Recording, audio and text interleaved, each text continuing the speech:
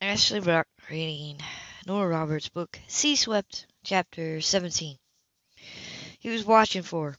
Cam figured it was just one more first in his life. He never watched and waited for a woman that he could recall. Even as a teenager, they had come to him, calling on the phone, wandering by the house, lured near his locker at school. He supposed he'd gotten used to it, spoiled by it.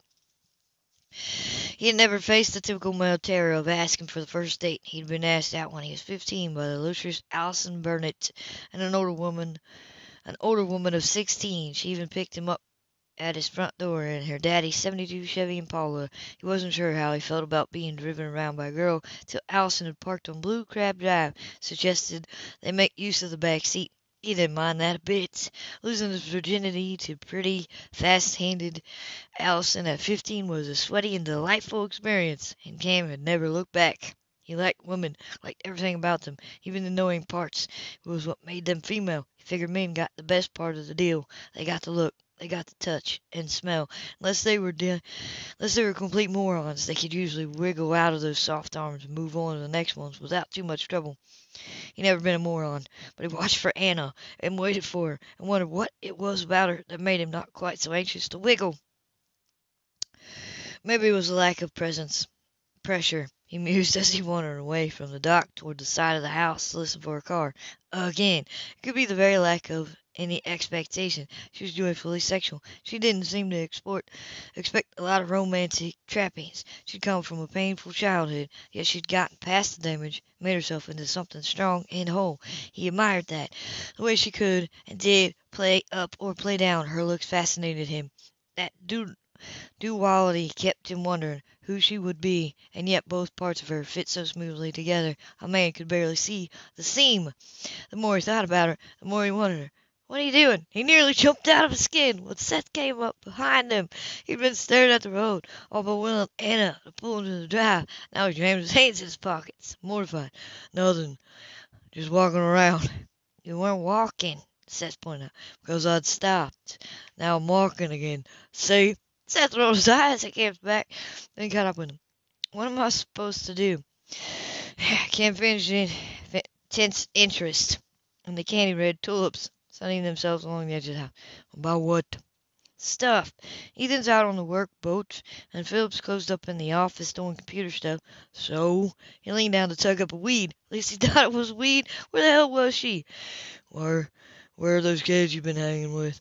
They had to go to the store and have lunch with the grandmother. Seth sneered on principle. I don't have anything to do. It's boring. We'll go clean a room or something. Come on. Jesus, what am I, your social director? Is the TV broken? Nothing on Saturday mornings but kid shit. You are a kid. Can't point out. Heard the sound of an approaching car with vast relief. Teach that brain-dead dog of yours some tricks. He's not brain-dead. Instantly insulted, Seth turned and whistled for the pup. Watch. Foolish raced up, carrying what appeared to be a can of beer in his mouth. Yeah, chewing on aluminum. That's brilliant. Look, I don't. But Cam broke off and Seth snapped the finger pointed. Foolish plopped his butt on the ground. He does it on voice command, too, Seth said matter of factly as he rubbed Foolish's head in reward. But I've got him responding to hand signals. He held a hand out, and Foolish gamingly lifted a paw. That's pretty good. Pride and surprise smacked in his voice. How long did it take you to teach him that? Just a couple hours, here and there. All three watched as Anna pulled into the drive. Foolish was the first to rush the grader. He doesn't do real good with stay yet, says come on. Well, we haven't worked on it long. He didn't do real good with down either. Anna stepped out of the car. Foolish was leaping and yipping, his tongue lashing out joyfully to lick everywhere. Can't figure the dog had the right idea. He'd have liked to jump on her and start licking himself. She wore jeans that were faded to a soft pale blue and a lipstick red top top lipstick red top tucked into the waistband with a simple outfit borrowed from the practical in the siren made Cam's mouth water. She looks different with her hair down, said Coleman. Yeah, he wanted his hands on it, on her, and that was that. She crouched down, purred at the puppy, who had flopped adorably on his back to have his belly rubbed. Her head came up, even with shading glasses, Cam could see her eyes widen in awareness, then shift warmly, warmly to the child who walked behind her. Ignoring the signal, he hauled her up to her feet, gave her one good yank, that made her stumble over the pup and against him, and closed his mouth over her sputtering protests. It was like being swallowed by the sun, was all she could think. The heat was huge, and he had reached flash point before she could draw the first breath. Need, restless and greedy, pumped out of him and slammed into her at an alarming speed. The wild drumming of a woodpecker hunting breakfast echoed through the still air and matched the frantic beat of her heart. All she could do was hold on until he devoured enough of what he wanted from her to satisfy him. When he eased her back, those clever lips curved, smug look, she was sure she would resent when he, her head settled back on her shoulders again. Morning, Anna. Good morning. She cleared her throat, stepped back, and made herself look over Seth. He appeared to be more bored than shocked, so she worked up a smile for him. Good morning, Seth. Yeah, hi. Your dog's growing into his feet. Because she needed a distraction, Luke, of foolish, held out a hand, planted his rump, lifted a paw, charming her. Oh, aren't you smart? She crouched again, shook his paw, tugged his ear. What else can you do? Uh, we're working on a couple things. Foolish had just run through his entire repertoire, but Seth didn't want to say so. You make a good team. I've got groceries in the car, she said casually. Makings for dinner. Give me a hand. Yeah, all right. He shot a resentful look at him. Got nothing else to do. We're going sailing, aren't we? She said it brightly, amused when she saw Cam's mouth fall open. Seth looked at her with sharp, interested eyes. Am I going? Of course. She started opening the car door, then handed him a bag. As soon as we put this stuff away, I hope I'm a quick learner. I know next to nothing about boats. Cheered, Seth settled bags on his each hip. Nothing to it, but you should have a hat. With this, he carried his bags toward the house. I was figuring on it being just you and me. Cam told her he had a nice fantasy going about slipping into some quiet bend of the river, making rocky love, turning the bottom of the boat. Where are you?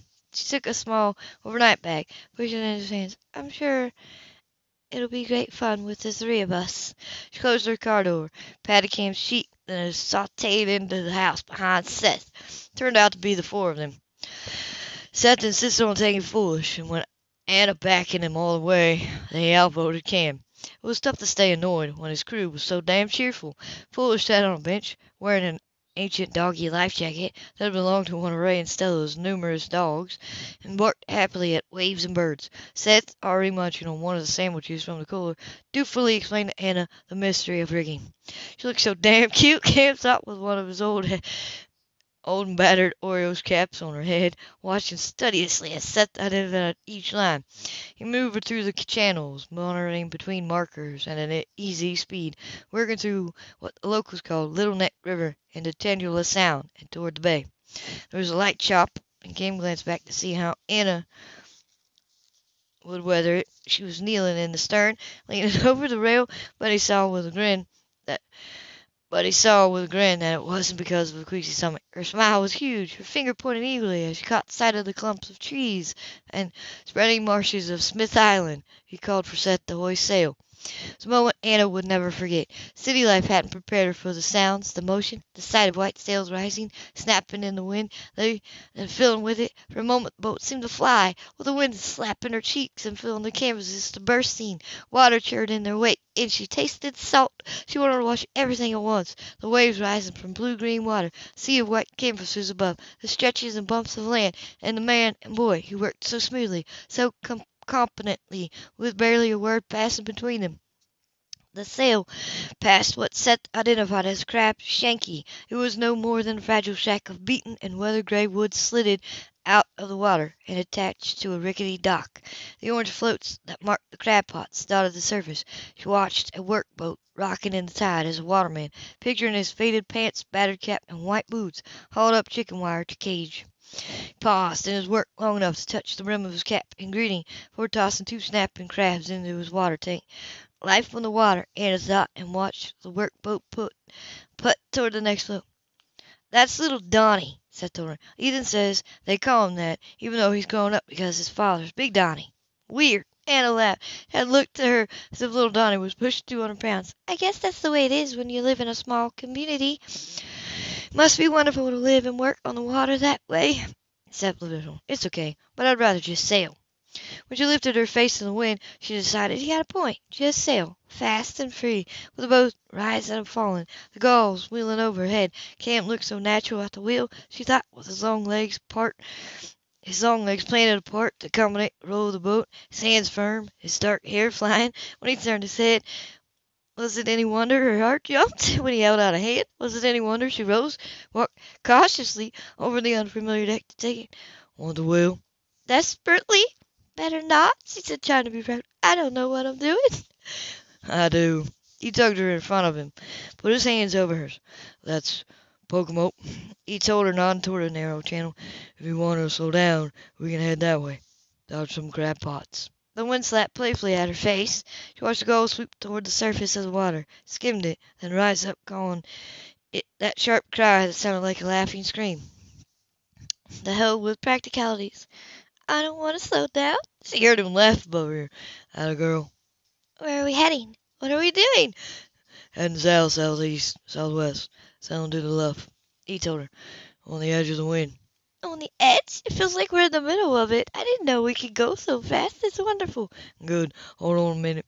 To her shock, he stepped back and called to Seth to help him make some adjustments to the sails. As her hands white-knuckled on the wheel, she heard them laughing. She heard the creak of the mast, the shiver of the canvas as it turned. If anything, she thought the boat picked up speed. She tried to relax. After all, there was nothing but water ahead of them.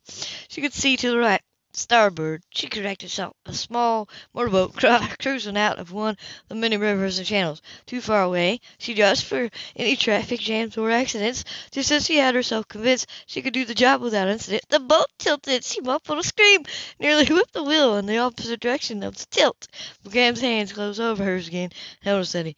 We're going over. Nah, we're heeled in nicely. More speed. Her heart stayed in her throat. You left me at the wheel. The wheels needed trimming. The kid knows how to work the sheets. He's inside him a lot. He catches on quick. He's a damn good sailor. But you left me at the wheel, she repeated. You did fine. Rushed an after kiss on top of her head. That's Tangier Island up ahead. We'll go around it, then head north. There's some quiet spots on the little Choptank. We'll hit there about lunchtime. They didn't appear to be capsizing. She thought with a steady breath, since she hadn't run him aground, she relaxed enough, leaned back against him. She planted her feet apart as Cam did, let her body balance with the motion of the boat. Her newest ambition was to have a little slope, skiff, whatever it was called, which we finally got that house on the water. She would have the Quinn brothers build it for her, she decided dreamily. If I had a boat, I'd do this every chance I got. We'll have to teach you the basics before long. We'll have you trapezing. What? Swinging from the mast in a spangled leotard? Him image had its appeal. Not quite. You use a, you use a rig, a trapeze, and you hang out over the water. For fun? Oh, I like it, he said with a laugh. It's for speed, balance, and power. Hanging out over the water. She moves glances to port. I might like it too. He let her work the jib under Seth's watchful eye. She liked the feel of the line in her hand and knowing she was in charge, more or less, of the billowing white sheet. They rounded a little sandy spit of Tangier Island, and she was treated to the quick maneuvering of tacking, jibbing, the teamwork necessary to maintain speed while changing course. Cam had stripped down to denim cutoffs, and his skin gleamed with sun and sweat and water.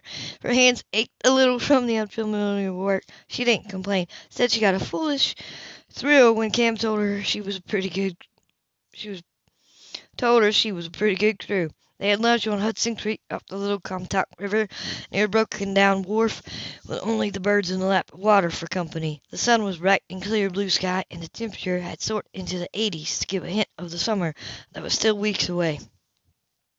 To the accompaniment of music on the radio, they took a cooling swim. Foolish paddle joyfully was Seth dived beneath the mirror-like surface and swam like a wild dolphin. He's having the time of his life, Anna murmured. A layer of the sulky, defiant, angry boy she'd first interviewed was being washed away. She wondered if he knew it. Then I guess I can't be too annoyed that you insisted on his coming along. She smiled. She wanted her hair up on top of her head in a vain attempt to keep it dry. With the way Seth and the puppy were splashing, nothing was dry. You don't really mind, and you never have had that smooth of a sail without him on board. True enough, but there's something to be said for a rough sail. He parted the water in front of him, then slid his arms around her. Anna gripped shoulders in automatic defense. No dunking! Would I do anything that predictable? His eyes were smoky with laughter, especially when this is much more fun. He tilted his head and kissed her.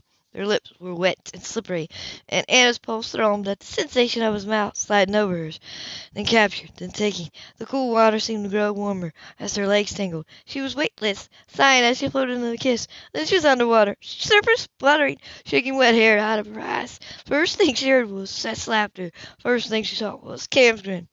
It was irresistible, he claimed, and swallowed water himself as she flipped onto her stomach. In the face.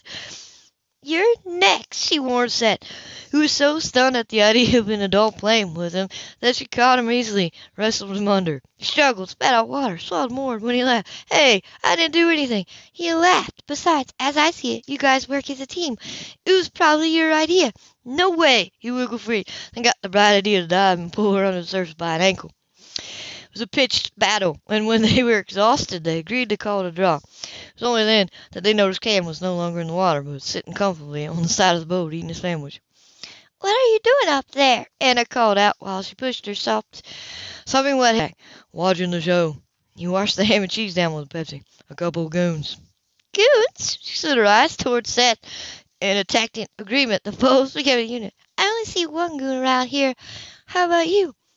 Just one, he agreed. They swam slowly toward the boat.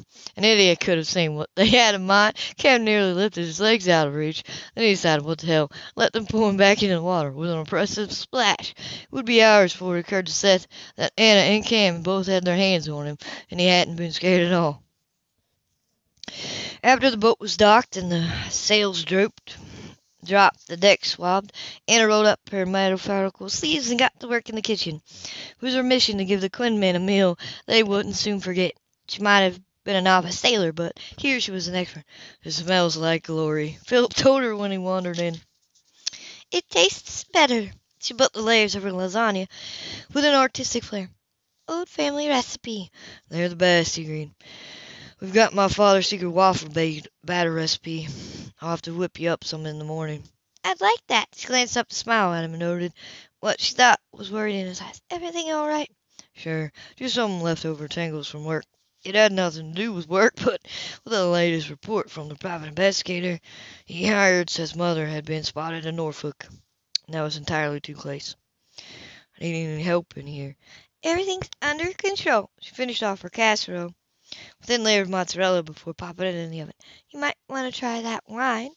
Absently, Philip picked up the bottle, breathing in, breathing on the counter, and instantly his interest was piqued. Nebbiolo, the best of the Italian reds. I think so. I can promise my lasagnas a match for it. Philip grinned as he poured two glasses. His eyes were golden brown that for some reason made Anna think of archangels. Animal love, why don't you toss Cam over and run away with me? Because I'd, because I'd hunt you both down and kill you. Can't say that as he stepped into the kitchen. Back off from my woman, bro, before I hurt you. Though it was said lightly, Cam wasn't exactly sure he was joking. He wasn't entirely pleased for the little spurt of jealousy. He wasn't jealous type. He doesn't know Barolo from a Cincini, Philip told her as he got down another glass. You're better off with me. Goodness, he said in a passable intimidation of they're below the Mason-Dixon line draw. I just love being fought over by strong men, and here comes one more. She added as Ethan stepped through the back door. You want to do it for me too, Ethan? He blinked and scratched his head. Women confused him, but he was pretty sure there was a joke coming on. Did you make what's ever cooking in there? With my own little hands, he said. I'll go get my gun. When she laughed, she had her quick smile, then ducked out of the room to shower off the day's work.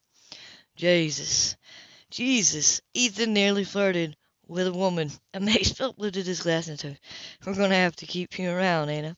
If someone was set the table while I put the salad together, I might hang around long enough to let you sample my cannoli. Cam and Philip eyed each other. Whose darn is it? Cam demanded. Not mine. It must be yours.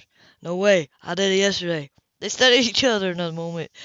Then both turned to the door and yelled for Seth. Anna only shook her head. Younger brothers, she supposed, were meant to be abused in such manners. She knew the meal was a success when Seth gobbled up a third helping. He lost that alley cat boneness, she noted, in the pallor. Perhaps his eyes were still occasionally wary, peeking out under his lashes as if searching for the blow that he learned too young to expect. But more often Anna thought there was humor in his eyes. He was a bright boy who was discovering how to be amused by people. His language was rough. She didn't expect there would be a great deal of improvement in, in it as long as he lived in a house full of men, though she did see that Cam booted him lightly under the table now and again when he swore too often. They were making it work. She had strong doubts in the beginning that three grown men, well set in their ways, would find a way of adjusting, of making room, and especially of opening hearts to a boy who had been thrust, thrust upon them. But they were making it work.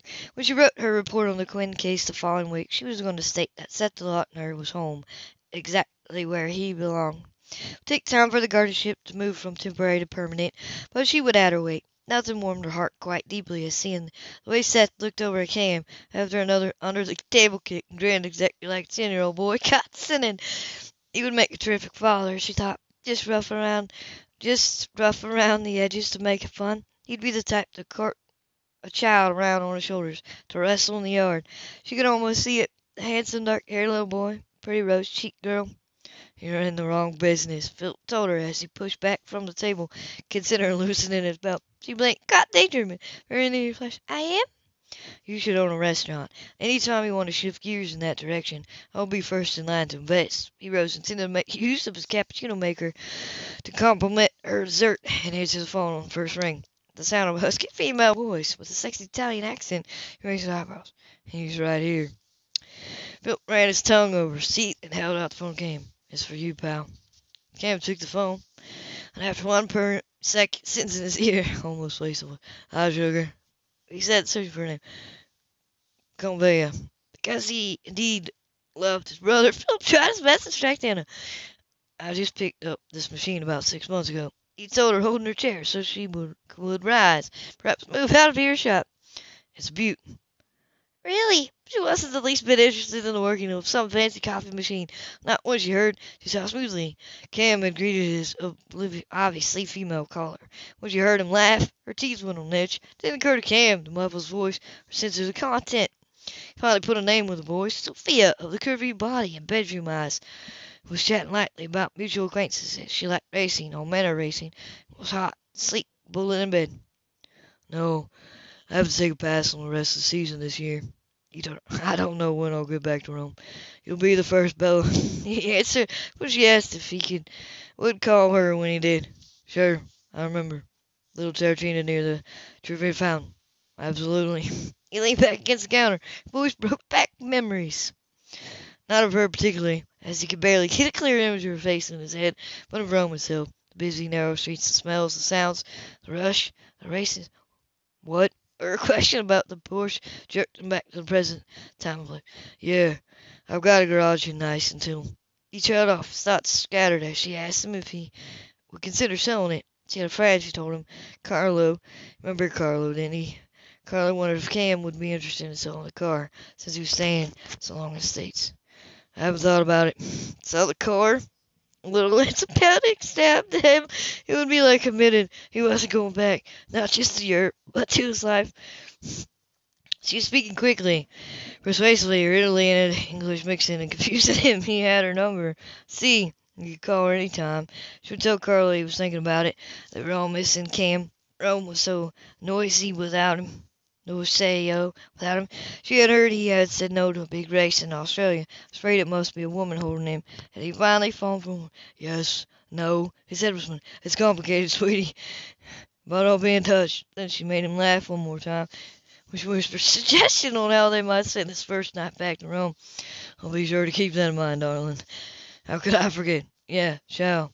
Philip was busily foaming milk and John was the air of desperate man to engage Anna in conversation about types of coffee beans.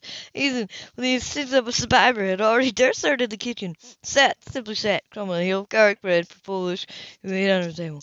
Ah, oblivious, Cam raised a suspicious eyebrow at the cappuccino machine. I'll stick with regular coffee. He began to smile when Anna walked up to him. I remember your cannolis from. An air whooshed out of his lungs as she plowed a fist into his gut. Before he could suck it back in, She strode past him and outside with a slap of the screen door. What? What I put in stomach can go that fellow. Jesus, what did you say to her? You're such a jerk. Philip muttered. Definitely pulled the first cup. She looked really pissed. That's coming in stiff. There. Can I try some of that junk you're making? Sure. Philip made a latte. Heavy on the milk. With Cam headed outside, Cam caught up the handle on the dock, where she stood fuming, her eyes folded over. She, what the hell was that for? Oh, I don't know, Cam. For the hell of it, she whirled around the face of her eyes blazing in the starlight. Women are peculiar creatures. They get annoyed when the man they're supposed to be with flirts over the phone right in their damn face with some Italian bimbo. The light dawned, but to his credit, he barely winced. Come on, sugar. He broke off, unsure whether he was amused or frightened when she lifted a fist. Don't you call me Sugar. You use my name. You think I'm an idiot? Sugar, sweetie, honey pie. That's what you say when you can't even remember the name of the woman who's underneath you in bed. Wait a damn minute. No, you wait a damn minute. Do you have any idea how insulting it is to stand there and you make a date to meet your Italian squeeze in Rome when my lasagna's barely settled in your stomach? Worse, she thought. Much, much worse. He done seconds after she'd been building foolish castles in the air of him with children, their children. Oh, it's mortifying, infuriating. I wasn't making a date, he began, then paused, fascinated, while a stream of repression Italian curses poured out of her mouth. You didn't learn those from your grandparents. When she bared her teeth and hissed, he couldn't stop smiling. You're jealous. it's a, not a matter of jealousy, it's a matter of courtesy. She tossed her head, tried to calm down. She was only embarrassing herself more with the outburst, she realized. But by damn, she wasn't finished yet. You're a free agent, Cameron, and so am I. No pretenses, no promises, fine. But I won't tolerate you having phone sex while I'm standing in the same room. It wasn't phone sex, it was a conversation. The little Torita by the Trevi fountain, she said coldly now. How can I forget? Yeah, you'll be the first. You want to know some Italian Zorito? Cam, that's your business, but don't ever do it in my face again. Took a breath and held up a hand before he speak. I'm sorry I hit you. He gave his mood, ruffled but calmly. No, you're not. Okay, I'm not. You deserve it. It didn't mean anything, Anna. Yes, she thought wearily it did. To it meant a great deal. That was her own fault, her own small disaster. It was rude. Manners never were my strong point. I'm not interested in her. I can't even remember her face. Anna angled her head. Do you honestly think a statement like that goes to your credit? What the hell did she want him to say? He wondered with a quick, impatient hiss of breath. Sometimes he's posed truthful, but it's your face, Anna, that I can't get out of my mind. She sighed. Now you're trying to distract me. It is, is working. Maybe. Her emotions, she reminded herself, were a problem. Let's just agree that even casual relationships have lines that shouldn't be crossed. Wasn't sure casual was the word to describe what was between them, but at the moment, whatever made her happy, she knew. Okay. Starting now, you're the only Italian bill and bimbo I flirt with. Her plain unsmiling stare made him grin. It's terrific lasagna. None of my other bimbos could cook. She slid her gaze to the water, backed his face, and cocked her head consideringly. Cam was pretty sure he saw the beginnings of humor in her eyes. We'd both end up in there. You don't, but I don't mind if you don't. I suppose all in all, I'd rather stay dry. She glanced toward the house where, when music slipped through the windows and into the air, who plays the violin? That season. It was a quick and lively gig, one of the pair's favorites. The piano joined in, made him and that's Philip. What do you play? A little guitar. I'd like to hear. In a gesture of peace, she held out a hand. He took it, drawing her close, taking her fingers to his lips. You're the one I want, Anna. You're the one I think of. For now, she thought, and let him slide her into his arms. Now was all that had had to matter. End of chapter 17.